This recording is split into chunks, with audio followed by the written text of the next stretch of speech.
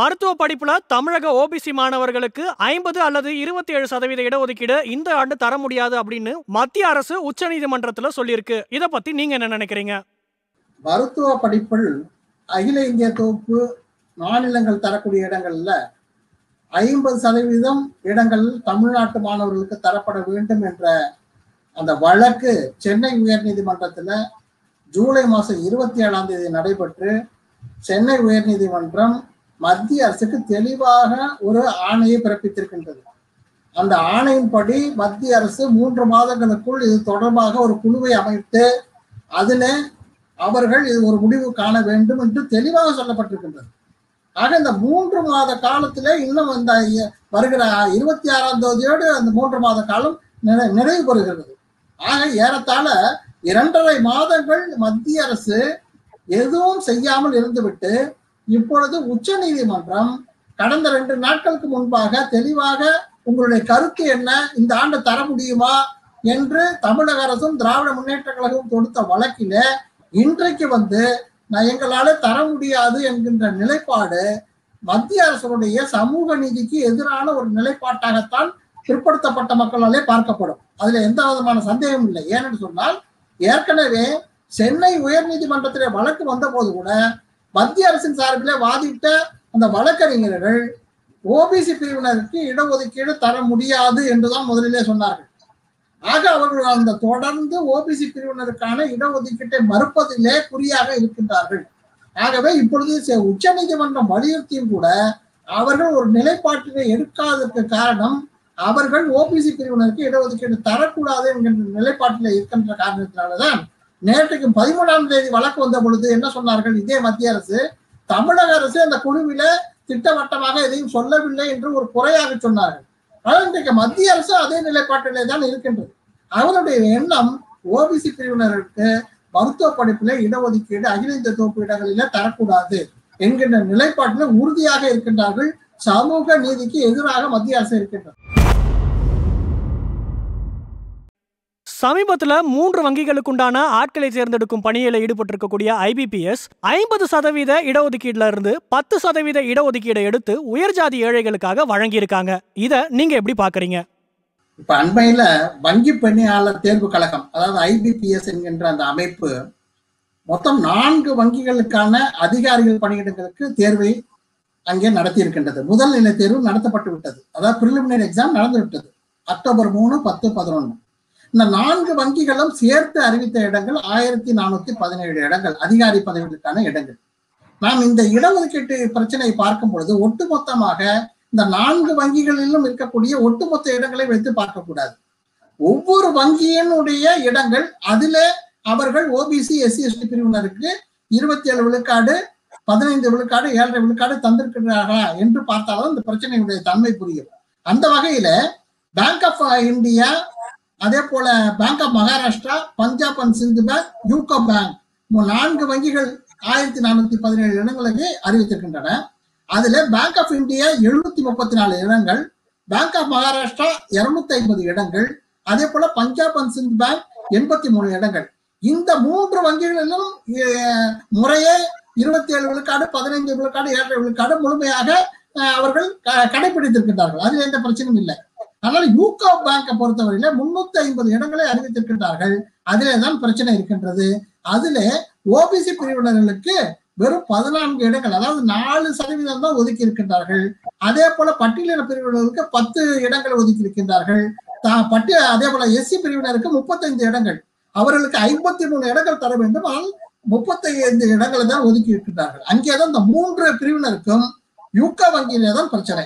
ஆக அவர்கள் இருபத்தி ஏழு பதினைந்து ஏழரை ஒதுக்கி இருந்தால் மொத்தமாக அங்கே ஏறத்தாழ இருநூறு இடங்களுக்கு இருநூத்தி ஐம்பது இடங்களுக்கு இருநூறு இடங்கள் கிடைத்திருக்கும். ஆனால் தற்பொழுது அவர்கள் அங்கே அஹ், முப்பத்தைந்து பிளஸ் பத்து பிளஸ் பதினாறு என்கின்ற வகையில் ஐம்பத்தொன்பது இடங்களை தான் தந்திருக்கின்றார்கள். இதன் காரணமாக நூற்று பதினைந்து இடங்கள் இந்த பிரிவினர்கள் இழந்திருக்கின்றார்கள். ஆஹ், அங்கே இருக்கக்கூடிய உயர் ஜாதி ஏழை பிரிவினருக்கு பத்து சதவீதம் முழுமையாக கடைபிடிக்கப்பட்டிருக்கின்றது. இவருடைய இடங்களே அங்கே ஒதுக்கப்பட்டிருக்கின்றது என்பதற்கான எந்த குறியீடும் அங்கே இல்லை. ஆக இந்த வங்கிகள் ஒவ்வொரு பணியிடங்கள் காலியிடங்களை பற்றிய ஒரு ரோஸ்டர் முறையை அந்த வங்கியிலே தலைமை அலுவலகத்தில் வைத்திருக்கின்றார்கள். அந்த ரோஸ்டர் முறையிலே தான் இந்த இடங்களை எல்லாம் நிரப்ப வேண்டும். அதற்கு பிறகு அதன் பேர் போஸ்ட் பேஸ்ட் ரோஸ்டர் அந்த போஸ்ட் பேஸ்ட் ரோஸ்டர் பிரகாரம் ஓபிசி பிரிவினருக்கும் எஸ்சி பிரிவினருக்கும் எஸ்டி பிரிவினருக்கும் அவர்களுடைய அந்த காலியிடங்கள் முறையாக அவர்கள் கணக்கிட்டு இருக்கிறார்களா என்பதை ஆய்வு செய்தால்தான் இந்த பிரச்சனையுடைய தன்மை புரியும். அந்த வகையில தான் எங்களுடைய அகில இந்திய பிற்படுத்தப்பட்ட கூட்டமைப்பின் சார்பாக தேசிய பிற்படுத்தப்பட்டோர் ஆணையம் நேஷனல் கமிஷன் ஃபார் பேக்வர்ட் கிளாஸஸ்க்கு நாங்கள் கடிதம் எழுதி இதை பற்றிய முழு விசாரணை நடத்தி அந்த இடங்களை நாம் கண்டறிய வேண்டும். அவ்வாறு தவறு செய்திருந்தால் அந்த அதிகாரிகள் மீது நடவடிக்கை எடுக்க வேண்டும் என்று கடிதம் எழுதியிருக்கின்றோம். இந்த இடஒதுக்கீடு விவகாரத்தில் தொடர்ந்து ஒருதலை பட்சமாகவே மத்திய அரசின் நிலைப்பாடு இருக்கிறதா ஒரு குற்றச்சாட்டு இருக்கே. அதை நீங்க எப்படி பாக்குறீங்க? அதாவது இது வந்து இன்றைக்கு துவங்கிய பிரச்சனை இல்லை. கடந்த சுதந்திரம் அடைந்த காலத்திலிருந்து பிற்ப ஓபிசி பிரிவினருக்கான இடஒதுக்கீடு மத்திய அரசிலே எங்கே எப்பொழுதும் கொடுக்கப்படவே இல்லை. அங்கே அரசியல் அரசியல் அரசமைப்பு சட்ட பிரிவு முன்னூற்று நாற்பது நாற்பதின் படி பிற்படுத்தப்பட்டவருக்கு ஒரு ஆணையம் அமைத்து அவர்களுக்கான முன்னேற்றத்தை கண்டறிய வேண்டும். இடஒதுக்கீட்டு தர வேண்டும் என்று ஆயிரத்தி தொள்ளாயிரத்தி ஐம்பதிலே அரசமைப்பு சட்டம் தெளிவாக சொல்லியிருக்கின்றது. ஆனால் அதற்கான ஆணையத்தை மத்திய அரசு ஆயிரத்தி தொள்ளாயிரத்தி ஐம்பத்தி மூணுல காக்கா கலைஞர்கள் கமிஷன் அமைத்தார்கள். அதனுடைய அறிக்கையை நடைமுறைப்படுத்தவில்லை தூர எரிந்து விட்டார்கள். பின்னர் மண்டல் க- கமிஷன் அறிக்கை வந்தது ஆயிரத்தி தொள்ளாயிரத்தி எண்பதுல. அதுவும் அங்கே நாடாளுமன்றத்தில் விவாதம் வைப்பதற்கே பெரும் போராட்டம். ஆயிரத்தி தொள்ளாயிரத்தி தொண்ணூறு தொண்ணூறிலே தான் அது அஹ், சமூக வி. விபி சிங் அவர்கள் பிரதமராக இருந்த பொழுதுதான் வேலை வாய்ப்புல இருபத்தி ஏழு சதவீதம் என்ற ஆணை பிறப்பித்தால் அதன் காரணமாக அவர் பதவியை இழந்தார். அது நீதிமன்ற உச்ச நீதிமன்றத்தில் வழக்கு வந்து ஏறத்தாழ இரண்டு ஆண்டுகள் அதற்காக போராடணும். பின்னர் கல்வி நிலையங்கள்ல ரெண்டாயிரத்தி ஐந்திலே தான் அதற்கான சட்டம் கொண்டு வந்தார்கள். அதுவும் உச்ச நீதிமன்றத்தில் தடைபெற்று ரெண்டாயிரத்தி எட்டுக்கு பிறகுதான் வந்தது. ஆக மத்திய அரசை பொறுத்தவரையிலே அங்கே உயர் ஜாதியினுடைய ஆதிக்கம் அனைத்து அலுவலகத்திலும் இருக்கின்றது. அவர்கள் இந்த ஓபிசி பிரிவினருக்கான இடஒதுக்கீட்டை முற்றிலுமாக எதிர்க்கின்றார்கள். ஒவ்வொரு நிலையிலும் எதிர்க்கின்றார்கள். ஏதோ ஒரு துறை மட்டுமல்ல எந்த துறையிலும் ஓபிசி பிரிவினருக்கான இடஒதுக்கீட்டை எவ்வாறு முடக்குவது எவ்வாறு மறுப்பது எவ்வாறு தாமதப்படுத்துவது? அந்த வகையில தான் மருத்துவ கல்வி படிப்புல கடந்த ரெண்டாயிரத்தி ஒன்பது முதல் இதுவரை எவ்வளவு ஏறத்தாழ ஒரு லட்சம் இடங்கள் அங்கே நிரப்பப்பட்டிருக்கும் மாநிலங்கள் தந்த இடங்கள். அதுல இருபத்தி ஏழு விழுக்காடு தந்திருந்தாலும் இருபத்தி ஏழாயிரம் ஓபிசி மருத்துவராக இருந்திருப்பாங்க. ஆக அந்த வகையில இன்னமும் கூட அவர்கள் நிறைவேற்றுவதற்கு தயாராக இல்லை. ஏனென்று சொன்னால் இந்த ஓபிசி பிரிவினர் தங்களுடைய ஆதிக்கத்தை அங்கே ஆஹ், ஆதிக்கத்தை குறைத்து விடுவார்கள். என்று நினைக்கின்றார்கள். தமிழ்நாட்டை பார்க்கின்றார்கள். தமிழ்நாட்டிலே சமூக நீதி இங்கே வலுவாக இருக்கின்ற காரணத்தினாலே இந்த ஓபிசி மக்கள் எஸ்சி மக்கள் எஸ்டி பிரிவினர் எல்லாம் உரிமைக்கான குரலை தொடர்ந்து பல்வேறு பிரச்சனைகளிலே தொடர்ந்து எழுப்பி வருகின்றார்கள். இன்றைக்கு இந்தியாவே அமைதியாக இருக்கும் பொழுது தமிழ்நாட்டிலே தான் சமூக நீதிக்கான குரல் வெகு வேகமாக வந்து கொண்டிருக்கின்றது. காரணம் இங்க சமூக நீதிக்கான மிகப்பெரிய தளம் அமைக்கப்பட்டது தந்தை பெரியார் அவர்கள். ஆகவேதான் இதனை பார்த்துத்தான் இந்த ஓபிசி பிரிவினர் இந்தியா முழுவதும் வந்தால் தங்களுடைய ஆதிக்கம் அங்கே முற்றமாக நீக்கப்பட்டுவிடும் என்கின்ற அச்சத்தின் காரணமாக அவர்கள் இந்த ஓபிசி பிரிவினருக்கான இடஒதுக்கீட்டை எல்லா வகையிலும் தடுத்து நிறுத்துகிறார்கள். சமூக நீதி பிரச்சனைகள்ல இந்தியாவில் இருக்கக்கூடிய எல்லா மாநிலங்களும் அமைதி காத்து வரும் பொழுது அதை எதிர்த்து தமிழகம் மட்டும் தொடர்ந்து உரிமை குரல் எழுப்புவதற்குண்டான காரணம் என்னன்னு நீங்க நினைக்கிறீங்க?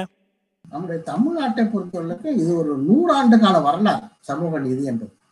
இது வந்து இன்னைக்கு ஆரம்பிக்கல இந்த சுதந்திரம் வந்ததுனால ஆரம்பிக்கல. என்ன சொல்ல போனால் சுதந்திரத்தின் காரணமாக நாம் இடஒதுக்கீட்டின் பலனை உரிமையை இழந்திருக்கின்றோம்.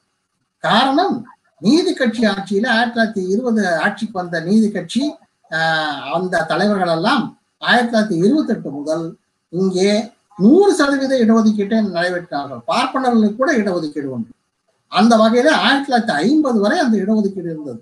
சுதந்திரம் வந்ததற்கு பின்னாலே அரசமைப்பு சட்டத்தை சுட்டிக்காட்டி அந்த வகுப்பு வாரி உரிமை கம்யூனல் ஜீவோ அதனை ஒழித்து கட்டினார்கள். தந்தை பெரியார் அவர்கள் போராட்டத்தின் காரணமாகத்தான் அரசமைப்பு சட்டம் முதல் திருத்தமே வந்தது. கல்வியில இடஒதுக்கீடு கிடைப்பதற்கு தந்தை பெரியாருடைய போராட்டம் தான் காரணம். பதினைந்து நான்கு என்கிற பிரிவு உருவாக்கப்பட்டது. அரசமைப்பு சட்டம் முதல் முதலாக திருத்தப்பட்டது. சமூக நீதிக்காக தான் அந்த சமூக நீதிக்கான போராட்டத்தை துவங்கியது தந்தை பெரியார் தலைமையிலான தமிழகம் தான் ஆகவே நமக்கு ஒரு நூறாண்டு காலம். அதே போல நீதி கட்சி ஆட்சியில தமிழ்நாட்டில் மட்டும் இடஒதுக்கீடு இல்லை. மத்திய அரசு அலுவலகங்கள் தமிழ்நாட்டில் இருந்தால் அதுலேயும் இடஒதுக்கீடு உண்டு. எடுத்துக்காட்டாக அன்றைக்கு ரயில்வே தனியார் துறை இம்பீரியல் பேங்க் என்று சொல்லப்படுகின்ற ஸ்டேட் பேங்க் ஆஃப் இந்தியா தனியார் துறை இவற்றிலெல்லாம் இந்த கம்யூனல் ஜிஓ நடைமுறைப்படுத்தினார்கள் நீதி கட்சி ஆட்சியில் ஆயிரத்தி தொள்ளாயிரத்தி முப்பத்தி ஐந்து முதல். அதே போல அஞ்சல் துறை அது மத்திய அரசு க- அலுவலகம். அதிலே இடஒதுக்கீடு இருந்தது. இவற்றையெல்லாம் சுதந்திரம் அடைந்ததற்கு பின்னாலே தமிழ்நாடு இழந்திருக்கின்றது. ஆக மிகப்பெரிய நீண்ட நெடிய போராட்டம் தமிழ்நாட்டில் தொடர்ந்து சமூக நீதிக்காக அந்த போராட்டம் இருந்ததன் காரணமாகத்தான் தொடர்ந்து வந்த ஆட்சியாளர்கள் சுதந்திரத்துக்கு பின்னாலே இங்கே காங்கிரஸ் கட்சி ஆட்சியில் இருந்தாலும் கூட பெருந்தலைவர் காமராஜர் அவர்கள் சமூக நீதியில அக்கறை கொண்டு அவர்கள் சமூக நீதியின் பாலே தன்னுடைய திட்டங்களை எல்லாம் வகுத்தார்கள். அதனைத் தொடர்ந்து வந்து திராவிட முன்னேற்ற கழகம். அண்ணா அவர்கள் குறைந்த காலத்திலே தான் முதலமைச்சராக இருந்தார் பின்னாலே அவர்களுடைய காலத்திலே அவர்கள் சமூக நீதிக்கான பயணத்தை வெகுவாக வெகுவாக பண்ணார்கள் அவருடைய காலத்துலதான் பள்ளி கல்வி என்பது கல்லூரி கல்வியாக மாறினார். கல்லூரிகள் எல்லாம் துவக்கப்பட்டன. அதற்கு பின்னாலே எம்ஜிஆர் காலத்திலே பொறியியல் கல்லூரிகள் எல்லாம் துவக்கப்பட்டது. அதற்கு பின்னாலே வந்த ஜெயலலிதா ஆட்சி காலத்துல அறுபத்தி ஒன்பது சட்டம் நிறைவேற்றப்பட்டது. இங்க ஆட்சிகள் மாறினாலும் சமூக நீதிக்காக தொடர்ந்து எல்லா கட்சிகளுமே ஒருமித்த கரங்களில் இருப்பதற்கு காரணம் தமிழ்நாடு என்பது சமூக நீதிக்கான மிகப்பெரிய ஒரு போராட்ட களம். அதற்கான அடித்தளத்தை தந்தை பெரியார் அவர்கள் தலைமையில திராவிடர் இயக்கம் அமைத்திருக்கிறது.